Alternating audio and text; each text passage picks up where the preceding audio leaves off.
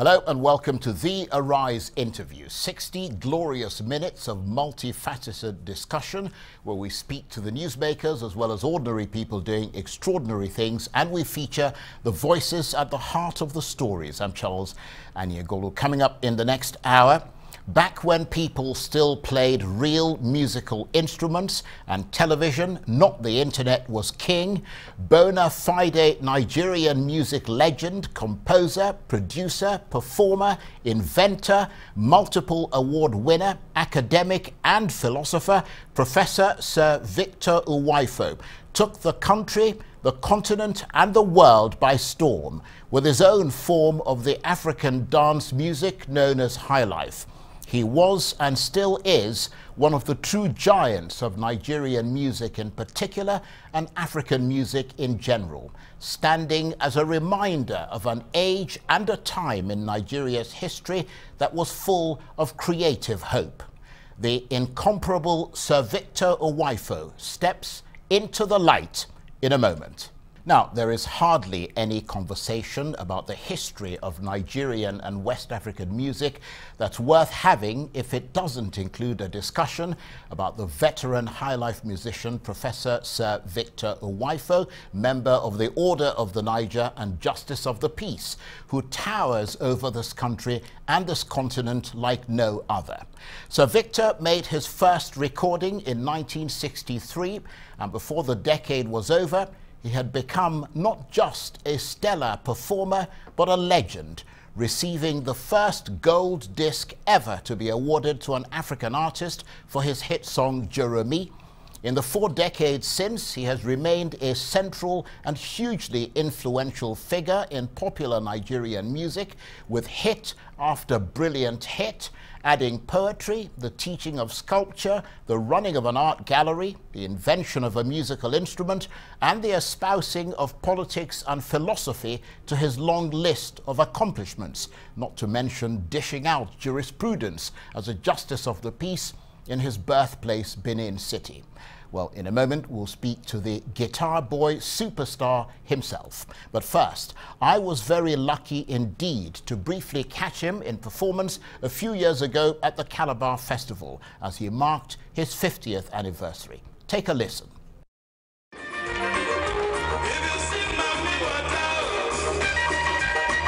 Twenty-four hours later, one of Nigeria's most prolific and enduring musicians, Professor Sir Victor Uwaifo, is at the headline spot.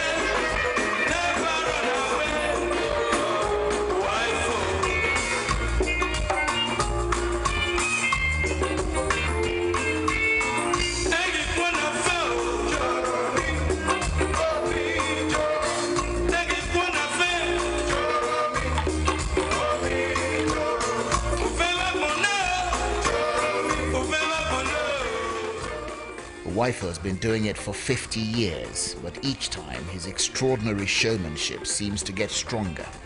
His roaringly biting performance soon had the audience off their bleacher seats.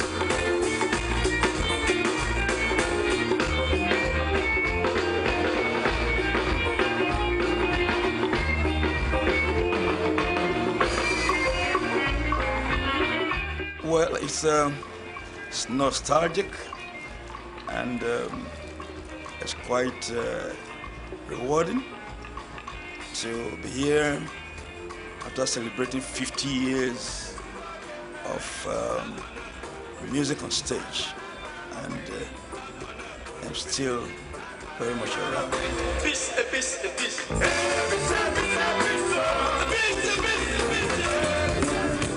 Now for more on the life and career of one of Nigeria's most celebrated musicians, I'm joined in the studio by the legendary Professor Sir Victor Uwaifo. Absolutely deliriously happy to have you here. Thank you. Thank you very much indeed for coming in. And you don't remember that, do you? I, I now remember. You now remember now that you've seen the, The video. visual- the visual. Because I met you in Calabar. Yes. Few years ago, you were you were the headline act in that Calabar festival that had everybody, including people from the UK and the US, and that, including um, Donald Duke was there. Donald. Well, Donald Duke. There was uh, Donald Duke was there. There was uh, Liyel Imoke, who was the governor. and, and a lot of other people. Yes. And uh, I managed to get behind the stage and managed to catch you and to convince you to sit down and do a quick chat with me. So for that, I'm eternally grateful. Bless you. And here we are again. How are you? I'm fine. And you too? Well, hanging in there, trying to see if we can make something more of what you've contributed to this country. And one of the things that stands out for you, obviously, is not just the fact that you're a musician. You wear so many different hats. How is it that you've become so eclectic?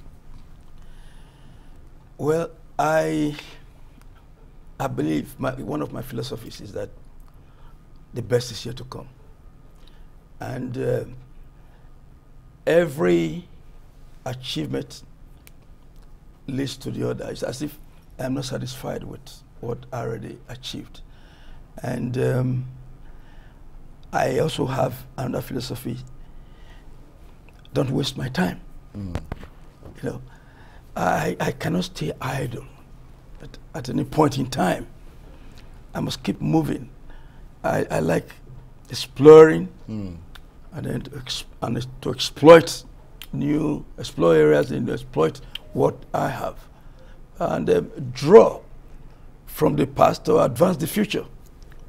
So I, I keep going on and on until um, if I can get some satisfaction from one thing, you see, music is one aspect. There are certain things you cannot express in music. You have to go into another field, like the art, That is true. that will give me the full explanation for trying to unravel some um, things that are, you know, not too clear. gives you a different language, as it were. Completely. But but the consistent thing in your life, the thread that has run consistently, and perhaps for which you're most recognized for, and for which we're eternally grateful that you got into that area, is music. Yes, but there's a trajectory. Don't forget that before I, I, took, I, I went into music f- uh, uh, fully, I was already a graduate from Yaba College of Technology. That is true. I didn't study music there, but I studied art, graphic arts. So at the time, I gave it a break.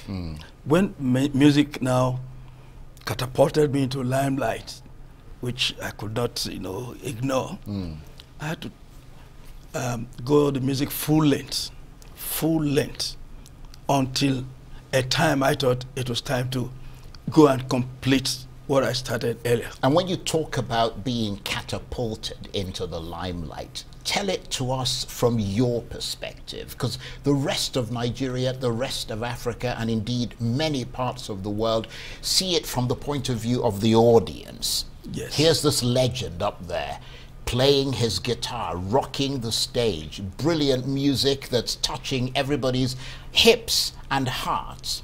But from your perspective, Yes. what was it like? Well, in 1965, something had happened on the west coast of Africa that had never happened before. Its frenzy and persistent African rhythm, hmm. you know, seized all Negro souls, north, south, east, and west of Africa. The, the song rode on the uh, dry Sahara Airlines into Europe, and air hostesses, you know, mahogany skinned air hostesses stepped into exotic nightclubs in Europe with a song on their lips and with a dancing dance step to go with it. Every white boy struck tone deaf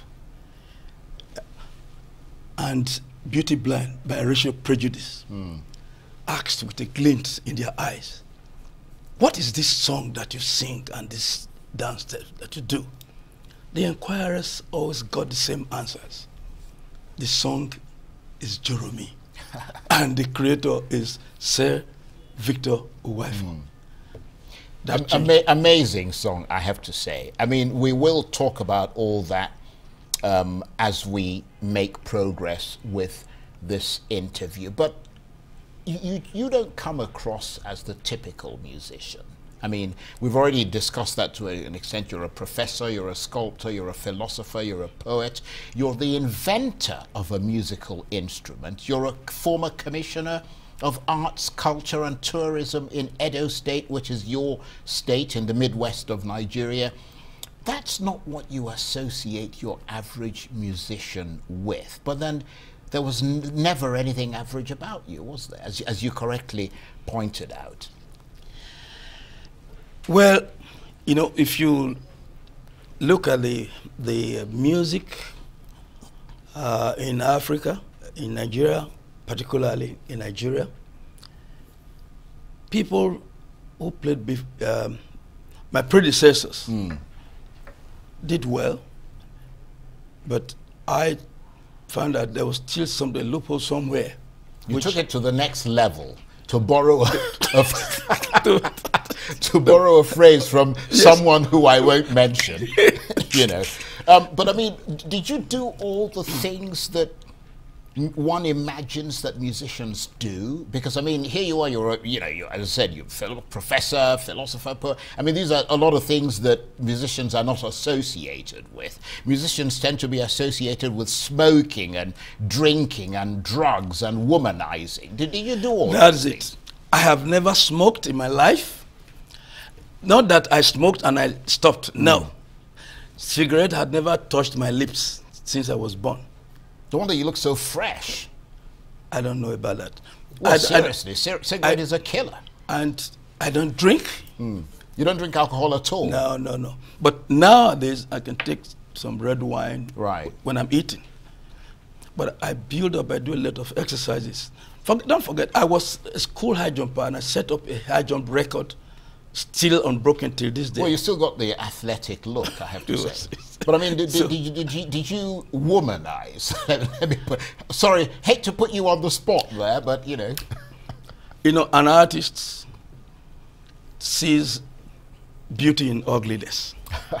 I like that. Yes. Okay, I'll accept so, that. yes, but I did not go that far to um, to, to uh, going to women right? Or smoking or drinking. No, no vices, basically. Yes, no right. vices. But, uh, but let, us talk about something that also has remained consistent with you, and that is your afro hair. I mean, your hair is just absolutely perfect. Not, not, a, not, a, not a bit of it out of place. Okay. I mean, it reminds me of the Jacksons and people like that. Sort of, you know, uh, how, how do you manage to, I, to I, I asked Tony Amadi, who, who contacted I mean, me. did you take up all the me, windows in the car? Let me tell you. What, uh, I asked him, I said, look, Tony, he said, yes. I said, do you bath every day? He said, yes. do you brush your teeth every day? He said, yeah. Do you iron your, your clothes? Mm-hmm. You brush your shoes? So you take care of all these things. I said, then take care of your hair too. Good point. And of course, Tony Amadi is uh, another sort of legendary person who we're very honoured to have on a, a on, on, a working on Arise because I mean he was one of the um, the impresarios in those days yes. that were in contact with people like you and so many others. That's but right. Sir, Professor Sir Victor, please stay with us. You're watching the Arise interview. Plenty more still ahead as we continue our chat with one of the true giants of Nigerian and African music, Professor Sir Victor Uwaifo. Stay with us. Welcome back to the Arise interview, where we speak to the newsmakers as well as ordinary people doing extraordinary things around the world and featuring the voices at the heart of the stories. I'm Charles Aniagolu. Now, we're talking or taking a valuable look at the life and career of one of Nigeria's most talked about musicians, the legend that is Professor Sir Victor Uwaifo, PhD, whose incredible music career spans many decades. After achieving fame across Nigeria and Africa and touring Europe and the US extensively in the 1960s and 70s, a new decade and a new location away from Lagos prompted a new musical direction. With his 12 piece band known as the Melody Maestros, which included the young musician Sonny Okosun, Sir Victor created a fresh rhythm driven sound based on a traditional Benin coronation dance called Ekasa, launching it in 1971. What followed was a period of intense creativity during which Uwaifo blended ancient Benin fables, folklore, and chants with a very modern musical potpourri that had elements of Western soul, pop and rock, and African rhythm, held together by his own distinctive and dazzling virtuosity on the guitar. Take another listen to one of Sir Victor Uwaifo's monster hits. The professor of arts, multifarious talent, sculptor, living legend, national treasure, genius, inventor, academician, intellectual, and maestro emeritus. Ladies and gentlemen, please sit back, relax, and enjoy the show.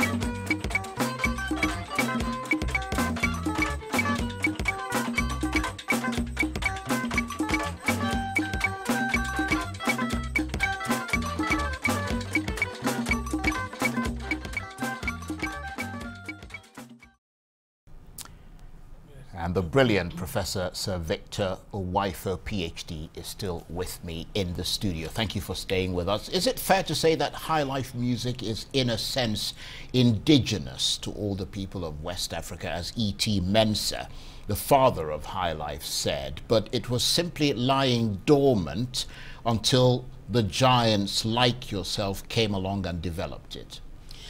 Yeah. high life actually started from Ghana and then into Nigeria. Um, the name High Life was coined from a dance. You know, in, in those days, they, they were these um, colonial days. Mm. You hardly uh, had bands that would play High Life because you have to play ballroom dancing, waltz, quick step, foxtrot. In fact, you have to learn how to dance. But occasionally, in between, they would just chip in some of these songs, you know. And then most people who were not allowed to come into the ballroom hall hmm. would shout after each dance. They would say, "These boy high life people, high life. They they enjoy high life." Right. Okay. These It- are the people a high- living the high life, Yeah, yes, as it were. Brilliant. That's how the name That's, was that's a great revelation. Yes, sir. And, and the role of people like yourself was critical, wasn't it? Because you brought that particular modern sound, a sort of spirit of the age, using what was in effect a very sort of modern Western style ensemble to play African music. Yes, I actually developed my style of playing the guitar. Hmm. You know, especially from the old time gramophone record songs in those days. From uh, The things you had to GV, wind yeah, you had to wind the gramophone. they would title GV one, two, three, and so on and so forth. I'll play one of those songs today, you know, Sure, La brilliant. Paloma, you know. And uh, I thought the you know the sign of the gramophone, his master's voice. Yes, absolutely. It's a megaphone with, the a dog, dog. sort of, yeah. As at early age, as young as I was, as you know, before uh, before twelve, Hmm. I thought the dog was actually singing inside the gramophone. God, that was it. A bit like people who used to think there were little people inside a television Inside set. so, and I got inspired by some of those songs that I know. And I thought, no, I should be able to play the kind of guitar that people were playing. So I made a guitar for myself from with plywoods, trap strings for strings, and bicycle spokes for frets. Yes, I remember. I remember hearing you talk about that. Yes, sir. bicycle spokes. Yes. amazing. That's how I started. And I developed it. Developed it until I was able to buy the real Spanish hmm. guitar. And, and Nigeria at that time was in the throes of sort of the Nigerianization and Africanization of the colonial legacy when your music exploded onto the scene immediately after independence. Um, do you think that was partly why it was picked up by everybody in Nigeria and across Africa? Because your music fit. It fit the political and social mood and exuberance and hope of that era. I think I wasn't actually playing music to become a musician. I was playing music because of the love I had for music, what I derived from it. It gave me satisfaction, gave me feelings. And what I did was I was just trying to um, give the best of my mind. And So if if somebody sold a million, which means you have interpreted a million people's mind at the same time. Yes. Yes. So I mean, you were able to get them get to coalesce. Yes, at the same time. Yeah. So I thought there was something missing also in the straight jacket high life sound. Then I wanted to give it uh, a different color. Guitarists were just sitting on the, at the background those days. But I thought, I said, no, why should a trumpeter be a band leader? Yes. or a saxophonist be a band leader. Guitar can play chord. Guitar is a is a polyphonic instrument. Hmm. It's not monophonic. Hmm. It's like uh, piano also. What the piano has 172 strings. Guitar has six strings. Yes. You can do exactly what the piano does if you know how to play Yes. the guitar. So I, I I played the guitar the way I wanted it to sound, and it obeyed me. So I stood up to play the guitar and danced. So because I do not belong to the background, hmm. sitting at the background and playing the instruments. That was how I developed it. And then- of course, it's not the only instrument you play. Oh no, I play several instruments. Once you're able to read and write music, hmm. you can play. I play flute, I play saxophone, play xylophone, I play clarinet, I play baritone sax, and uh, some percussions. I, you know, I do it. So, so i i it is fair to say that you're not just a musician. You- You're actually a musicologist, if, if it's fair to say that. If there's another word beyond musicologist, fine. Yes. But, but just, we, we haven't got that much time left in this particular segment. Obviously, we'll come back. But Okay. Just briefly, how did you get into music in the first place and then subsequently decided to turn that into a career? music runs in the blood, hmm. and it also runs in the family. But everyone had his own profession. Yeah, but you see, everybody wants to play music. I mean, I want to play music. A lot of people here love to play music. That's why they enjoy it. But they never get the chance to make that decision that I'm going to pursue it and see it through as a career. You must have a vision, a focus, and know where you are going. And where, you see, if if man can use axioms to project geometric structures of the world. Then man can also use esoteric axioms to project the invisible structure of the intangible world. Now I know you're a philosopher. so, as I said earlier, I hear what people don't hear. I can, I can, in art also, I see what people don't see. You can see uh, an object crying to be brought out, and, and until I bring it out and give it form and shape, I will not rest. So I pursue it until I get what I want. So I am able to balance sound. Okay, that brings to mind. You know, I created colors and sound when I was in the Yaba College, the graphic, uh, doing graphic. I was able to represent musical notes with colors. Red, do, black, re, blue, me. Do, do, do. so if you draw a chord of colors, you can strike it. That brought the Akwete rhythm. That was how I discovered Akwete That's rhythm. amazing. Yes, That is amazing. And that's a visualization that's it. of what is going on inside your head. That's astonishing. Stay with us. We're going to talk some more, and hopefully, we're going to see you play live for us the guitar.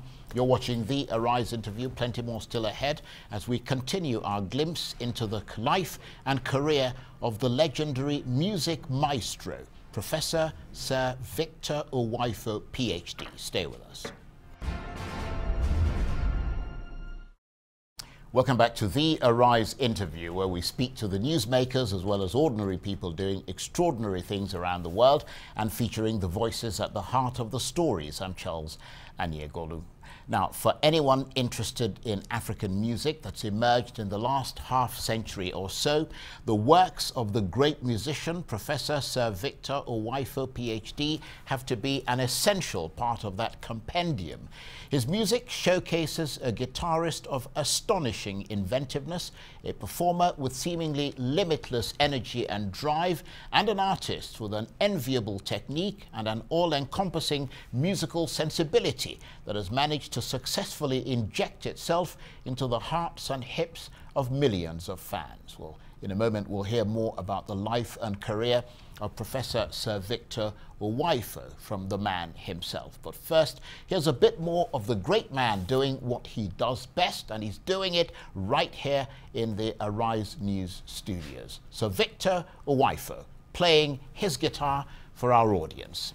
Over to you, sir. Yes, as I said, this song is called La Paloma from the GV Records.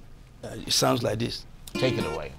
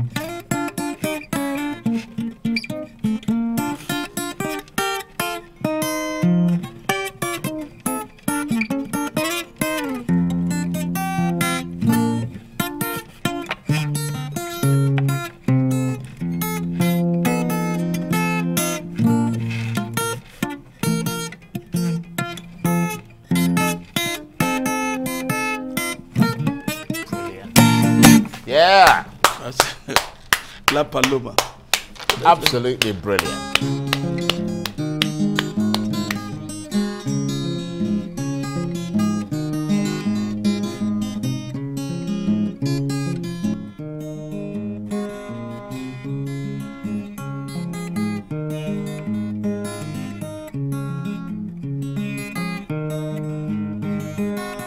And which one is this one? Casa 26, 26. Okay.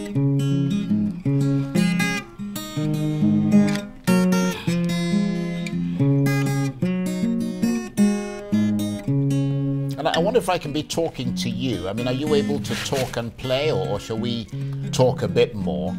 The, re- the reason is that, I mean, I, it, I was going to ask you, is the guitar a difficult instrument to play? Did, did it, I mean, do you form a lot of blisters on your fingers and all that? Yes, in the first um, maybe five years, you get a corn at the tip of your finger. And then your fingers get used yes, to it. gets used to it. It's so smooth like the baby's fingers now. So. Right. And then uh, guitar, I think it's one of the most difficult instruments. Then violin is another one. Yeah, violin is tough, isn't it? I, I can play a little bit of the piano, but then it's not as complicated as the guitar, I imagine. Yes, because the guitar, only six strings, hmm. can play what a symphony can play. Just something like a Jesu Joy hmm. of Mount Desire.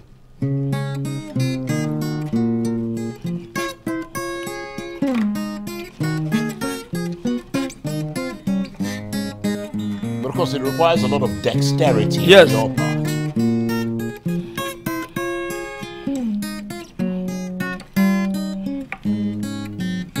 That is so lovely.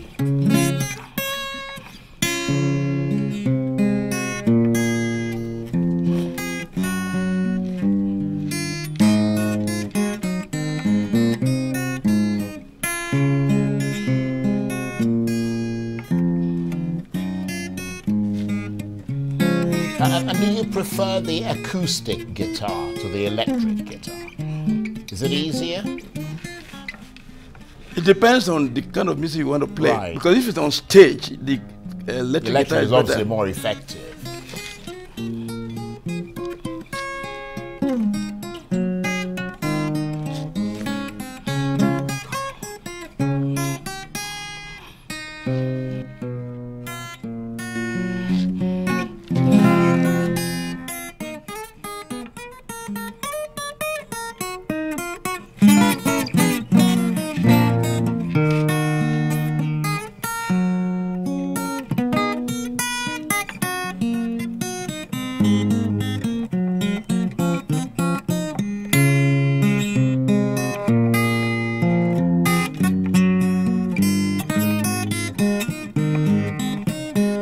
That is so spiritually uplifting, I have to say. and I was going to ask you the first song you played.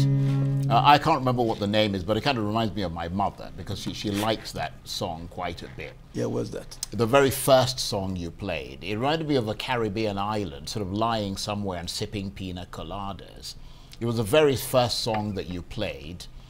Okay, that, uh, that La Paloma. Yeah, La Paloma, I think that it had that very sort of Spanish, you know what I mean, like somewhere in Marbella, in That's the south right. of Spain or Yes. something, uh, relaxing. I mean, who, who were your great musical influences? Let, let me ask you that. I didn't know them. They were they were just GV. people. We Right. called them GV, gramophone people. But were there any particular people that, that you got to know as you, you got older and got more into music yourself and that became a strong sort of influence, strong inspiration for, for what would eventually be your musical I, career? I don't think so because you would have probably have Hmm. seen most of. They, I would have sounded like them if uh, had any inspiration from. But Hmm. generally, I like good music. If it, sound is good, Doesn't really matter who it, it you know, is. it strikes me. Yes, Right. And, and let, us talk about your life growing up. I mean, where were you born and where, where were you brought up? Benin City. I Was born in Benin City, brought up there. Went to primary school there, two primary schools, Benin, um, Holy Cross um Primary School and Right. Benin Baptist. So it was a, a Then- Catholic education. Yes. Sort of, And then Western Boys High School and St. Gregory's College, Lagos. Then from there I grew up I took up, uh, went into music completely on my own. And I made a U-turn after I had achieved the uh, highest peak of my career. I went back to school. This time, nobody put a gun to your head and said, go to school. You did it on your It's so own, nice. sort of thing, right? At 52, I had gone back to school, the, um, University of Benin, and I, to read sculpture. Yeah, you graduated with first class honors. You are right, and that was very rare. I didn't, I didn't bargain for it, but it just it just happened, and I became the valedictorian. I read the speech on behalf of the rest. Uh, Well, if I was students. running the university, I'd make you the valedictorian. I mean, then I, I thought that was not all.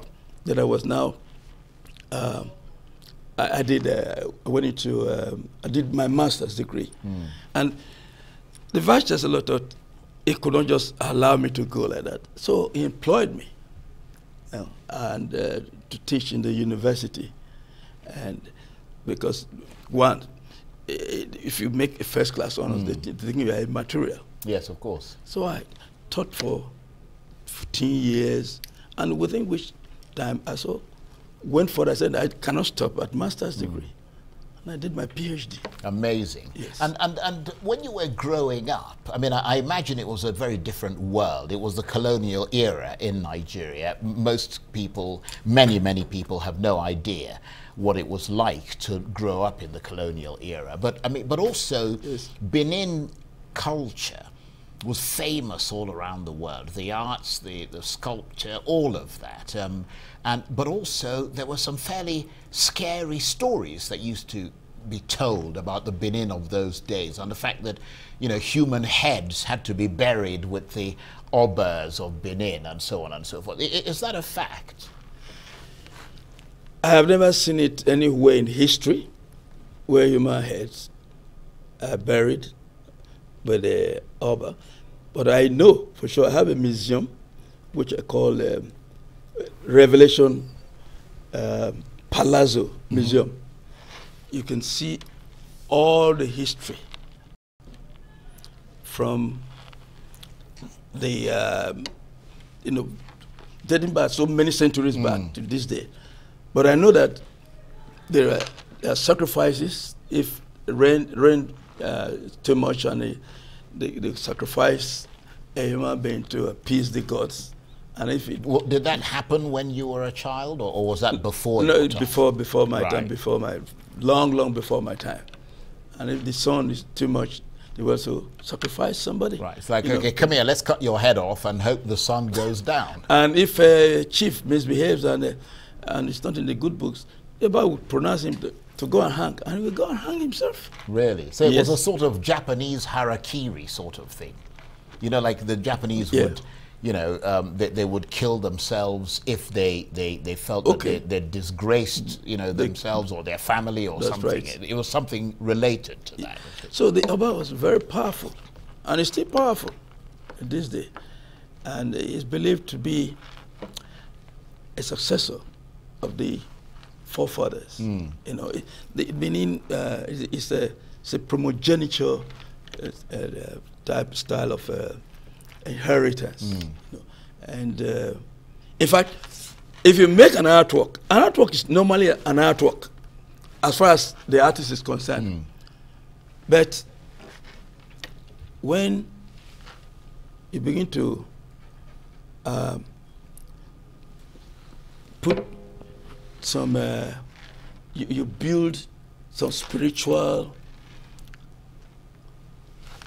things into it, into it, it's no more an artwork. It becomes something that will um, that, that is spiritual. Right. You know. Yes. Well, let me ask you to hold that thought there. You're watching the Arise interview. Plenty more still ahead. We, as we continue our chat with one of the true giants of Nigerian and African music, Professor Victor Uwaifo, PhD. Stay with us.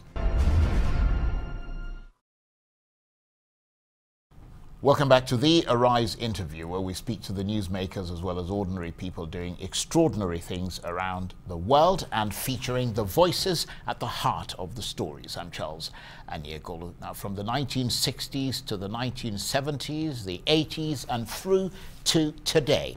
The musical influence of Professor Sir Victor Uwaifo, PhD, has spanned many decades. When it first came out, his music caught on like wildfire throughout Nigeria and soon spread to other African countries and many parts of the world influencing everyone from the likes of the famous international world music band Osibisa to the Afrobeat legend Fela Kuti, pioneering the Africanized cross-fingering guitar technique and fusing it with the traditional music of the people of Benin in Nigeria's Midwest, a combination that created a more rootsy style of high life. Well, in a moment we'll hear more from the genius himself, Sir Victor Uwaifo. But first, here's some more of the unique musical style that brought him national and international fame in this video. All my solos are based on something. I don't just play solo just because I'm rapping. No, no, no. That's, that's a little bit of jazz. So, my songs, my solos, my regular are well coordinated. Mm-hmm. It's not a guesswork. Then, okay, let me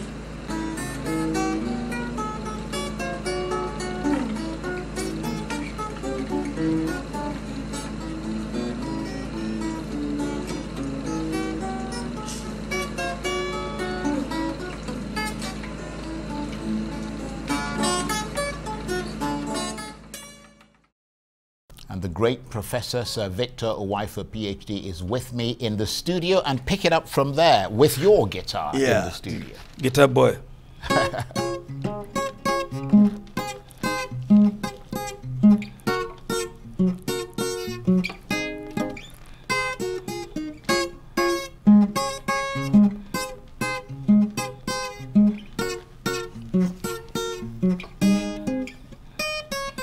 Guitar boy.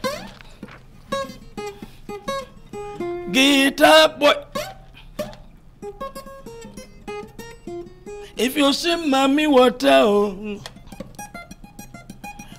If you see mommy water, oh. Never, never you run away. Eh, eh, never run away, Victor, wife. Oh.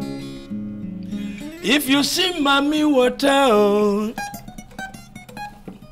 if you see mommy water, oh. Never, never you run away. Eh, eh, sing that song of love, sweet melody. Yeah. Yeah.